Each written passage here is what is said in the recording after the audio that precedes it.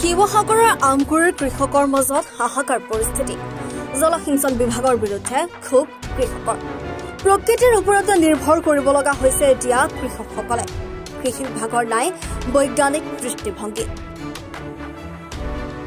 হতাশাগ্ৰস্ত হৈ পৰিছে এতিয়া চহা কৃষকসকল। পৰ্যাপ্ত বৰষুণৰ অভাৱত কৃষকৰ পশুপাৰ্জিত কৃষিভূমিত চিৰালপাত দিয়াত হাহাকাৰ অৱস্থাৰ সৃষ্টি হৈছে। আমগুৰি মহকুমা কৃষি বিভাগৰ অন্তৰ্গত ডিকচু পথাৰ মাহমৰা পথাৰ খেমদৈ পথাৰ ভূঞাহাট সাউদগাঁও হাতীমূৰীয়া ঘৰফলীয়া চামগুৰি জকাইচুক পথাৰকে ধৰি বহু কৃষিভূমিত পানী নথকাত কৃষিভূমিত চিৰালপাত দিছে। শালি ধানৰ খেতি গেৰ ধৰা সময়তে পৰ্যাপ্ত বৰষুণৰ অভাৱত চিৰালপাত দিয়াত গ্ৰামাঞ্চলৰ চহা কৃষকে মূৰে কপালে হাত দিব লগা পৰিস্থিতিৰ সৃষ্টি হৈছে। আনপিনে শিৱসাগৰ জিলা কৃষি বিভাগ আৰু জলসিঞ্চন বিভাগৰ কৃষকৰ প্ৰতি দায়িত্বহীনতাৰ প্ৰকৃত ছবি ফুটি উঠিছে। আমগুৰি মহকুমা কৃষি বিভাগৰ অন্তৰ্গত বহু হেক্টৰ কৃষিভূমিত চিৰালপাত দিয়াত সেউজীয়া হবলৈ ধৰা কৃষিভূমি ক্ৰমে ধান খেৰলৈ পৰ্যবেক্ষিত হোৱাৰ উপক্ৰম হৈছে। শিৱসাগৰ জিলা জলসিঞ্চন বিভাগৰ কৰ্মহীনতাৰ নিদৰ্শন দাঙি ধৰি কৃষিভূমিত পৰ্যাপ্ত পানী ব্যৱস্থা কৰিব নোৱাৰাৰ বাবে কৃষকসকলে দুৰ্ভোগ ভুগিব লগা হৈছে। এতিয়া আমাৰ এইখিনি কথা কোৱাত মানে আমাৰ আচলতে আমি অলপমান অনভিজ্ঞই প্ৰকাশ কৰিছোঁ। কিন্তু এতিয়া আমি পথাৰলৈ এতিয়া যাব নোৱাৰা এটা পৰ্যায় হৈছে। তেনে পৰ্যায়টো এনেকুৱা হৈছে যিহেতু ইমান কষ্টৰে আমি খেতিটো কৰাৰ পিছত আৰু যদি এতিয়া আমি সম্পূৰ্ণ প্ৰকৃতিৰ ওপৰত নিৰ্ভৰ কৰি চলিবলগীয়া এটা পৰ্যায় হয় তেতিয়াহ'লে আমাৰ চলিম কেনেকৈ? আমিতো চলিব নোৱাৰোঁ। গতিকে আমি চৰকাৰৰ ওচৰত এইটো এটা অনুৰোধ জনাইছোঁ। গতিকে আমাক যাতে ই এনেকুৱা কিছুমান অকণমান সমস্যা যদি সমাধানত অকণমান গুৰুত্ব দিয়ে কিছু আমি অকণমান আগবাঢ়ি যাব পাৰোঁ।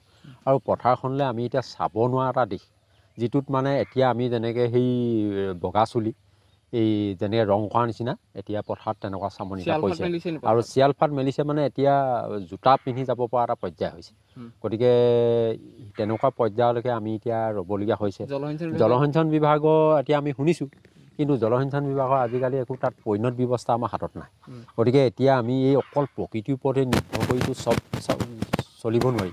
গতিকে এতিয়া এই ব্যৱস্থাপনাবোৰ চৰকাৰে অকণমান গুৰুত্বটো দিলে নিশ্চয় মানুহখিনি অলপমান অৰ্থনৈতিক দিশত অকণমান আগবাঢ়ি যাব পাৰিলেহেঁতেন বা জনসাধাৰণ অকণমান এই যিকোনো কাম এটাত সচেতন হ'ব বুলি আমি ভাবিলোহেঁতেন। কিন্তু এতিয়া আমি কিবা বৰ অসচেতন অৱচেতন মন এটা লৈ পিনি আমি জীৱন নিৰ্বাহ কৰিবলগীয়া হৈছে।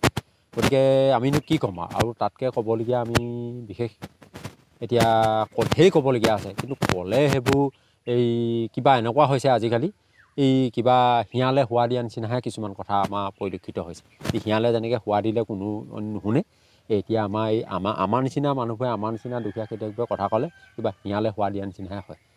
গতিকে চৰকাৰে এইবিলাকত অকণমান দায়িত্ব থকা মানুহবোৰক অকণমান যাতে চৰকাৰে যেতিয়া আমি লাখ লাখ হাজাৰ হাজাৰ পইচা দি যেতিয়া আমাৰ জনসাধাৰণেইতো পইচা এইবিলাক গতিকে সেইবিলাকত অকণমান আমি আগবাঢ়ি চৰকাৰে আমাৰ গুৰুত্বটো দিলে নিশ্চয় ভাল হয়। নহ'লে আমি কৃষকসকল যদি সবলীকৰণ নহয় তেতিয়াহ'লে আমি একো কথাতে আমি আগবাঢ়িব কিন্তু নোৱাৰোঁ। কাৰণ কেলৈ খাই আমি জীয়াই থাকিব লাগিব। আৰু বিশেষকৈ খাই জীয়াই থাকিহে আমি অন্যান্য দিশত আমি যাব পাৰিম। গতিকে আমি কৃষিৰ ওপৰত নিৰ্ভৰশীল আৰু কৃষিৰ ওপৰত চৰকাৰে অকণমান গুৰুত্ব দিয়াটো উচিত বুলি অকণমান আমি ভাবোঁ। কি হৈছে পথাৰত বৰ্তমান এতিয়া পথাৰত আমাৰ চিয়ালফাট দিছে পানী এইখিনি সময়ত লাগিছিলে পথাৰত। চিয়ালফাট এতিয়া জলসিঞ্চন বিভাগৰ এতিয়া কোনো কাম নাইকিয়া হৈছে। অশোক সিংহাল ডাঙৰীয়ানো ক'ত আছে? পথাৰত আমাৰ চাই জুখি আমাৰ পথাৰখন কেনেকুৱা অৱস্থা হৈছে। চৰকাৰ আমি টানি অনুৰোধ জনাইছোঁ আমাৰ জলসিঞ্চন ব্যৱস্থা নকৰিলে কিন্তু আমাৰ কৃষি বিভাগৰ আমাৰ খেতিয়কসকলৰ মূৰে কপালে হাত দিবলগীয়া অৱস্থা হৈছে। অশোক সিংহাল ডাঙৰীয়াই আহক আমাৰ পথাৰবিলাক চাওক কি হৈছে। চৰহাৰী তাণ্ডৱ সৃষ্টি কৰি এইফালে পানী নাই এইখিনি সময়ত পানী লাগিছিলে। জলসিঞ্চন বিভাগ যে এটা আছে কাগজৰ পত্ৰহে পোৱা যায়। তেওঁলোকে এ চি ৰুমত বহিয়েই দৰমহাবিলাক লৈ লৈ থাকে। সেইটোহে হৈছে আৰু এই জলসিঞ্চন বিভাগ। তাৰ বাদে আৰু একো কাম নাই হোৱা। গতিকে আমাৰ পথাৰবিলাকত জলসিঞ্চন বিভাগ আহক চকী কি অৱস্থা হৈছে। পঞ্জাৱত দেখিছোঁ আমি পানী প্ৰকৃতিৰ ওপৰত নিৰ্ভৰ নকৰে।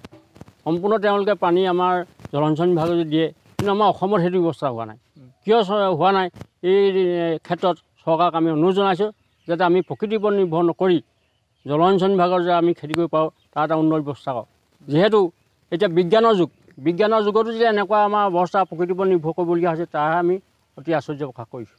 কিমানখন পথাৰ এনেকুৱা হৈছে? এতিয়া আমাৰ প্ৰায় প্ৰায় চাৰিশ বিঘা মাটি এতিয়া এনেকুৱা অৱস্থা হৈছে আলফাত দিছে। কি কি গাঁও? এতিয়া ডিচু মাউত গাঁও খেমদৈ কাকতি ডিকচু কাকতি আৰু বেলুমিখা চাংমাই গাঁও খৰাঙৰ ঘোঁৰাচা গাঁও। এইবিলাক পথাৰত আমাৰ এতিয়া গোটেই প- চিৰাল ফাট দিছে। জলসিঞ্চন বিভাগে জলসিঞ্চন বিভাগ আজিকালি দেখাই নাই জলসিঞ্চন বিভাগ নাহেই। অকল অফিচতহে থাকে তেখেতলে। অফিচতে আৰু হৈ যায় দৰমহাকেইটা লয় আৰু।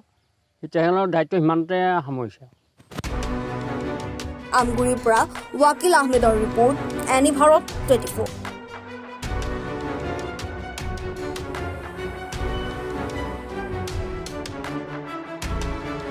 নমস্কাৰ মই অজয় ফুকন আৰু এইখিনিতে সমূহ এনি ভাৰত চেনেলটোৰ যিসকল কৰ্মকৰ্তা আছে সকলোৰে মোৰ ফালৰ পৰা শুভেচ্ছা জ্ঞাপন কৰিছোঁ। অসমৰ আচলতে সংবাদ জগতত নতুনকৈ আচলতে এটি আত্মপ্ৰকাশ ঘটিছে আমাৰ নিউজ চেনেল এনি ভাৰত। আৰু এনি ভাৰতৰ এটা খুব ধুনীয়া এটা অনুষ্ঠান হ'বলৈ গৈ আছে। সকলোৱে জানে আমাৰ সকলোৰে মৰমৰ হাৰ্টথ্ৰব জুবিন গাৰ্গৰ গানে কি আনে। আচলতে জুবিন দাৰ সেই গীতৰ আধাৰত আমাৰ হিৰুদাই লিখা সেই গীতটি গানে কি আনে। এই গানে কি আনে নামৰ এটি তেওঁলোকে সংগ- সাংগীতিক ৰিয়েলিটি শ্ব' কৰিবলৈ গৈ আছে। আৰু ফিফটিন আগষ্টৰ পৰা গোটেই আৰম্ভ হ'ব। প্ৰথম অডিশ্যন অসমৰ ধেমাজিত ধেমাজি জিলাত আৰম্ভ কৰিব। গতিকে সমূহ যিসকল প্ৰতিভা আছে যিসকলে গান ভাল পায় যিসকলে তেওঁলোকৰ নিজৰ প্ৰতিভা আচলতে দেখুৱাব বিচাৰে এই ৰিয়েলিটি শ্ব'ত গানে কি আনে এই প্ৰতিযোগিতাত অংশগ্ৰহণ কৰক। আৰু খুব ধুনীয়া আপোনালোকে সুবৰ্ণ সুযোগ লাভ কৰিব। লগতে ইয়াতে পুৰস্কাৰ আছেই বিভিন্ন ধৰণৰ উপহাৰো আপোনালোকে লাভ কৰিব। আৰু লগতে এগৰাকী প্ৰতিষ্ঠিত আচলতে এগৰাকী শিল্পী হিচাপে অসমৰ সাংস্কৃতিক জগতত আপোনালোক প্ৰতিষ্ঠা লাভ কৰিব। গতিকে গোটেই অনুষ্ঠানটোলৈ মোৰ ফালৰ পৰা শুভকামনা থাকিল আৰু লগতে এই অনুষ্ঠানটোত আপোনালোকে অংশগ্ৰহণ কৰিব। আমিও আছোঁ আৰু সকলোকে আমি লগ পাম। ধন্যবাদ।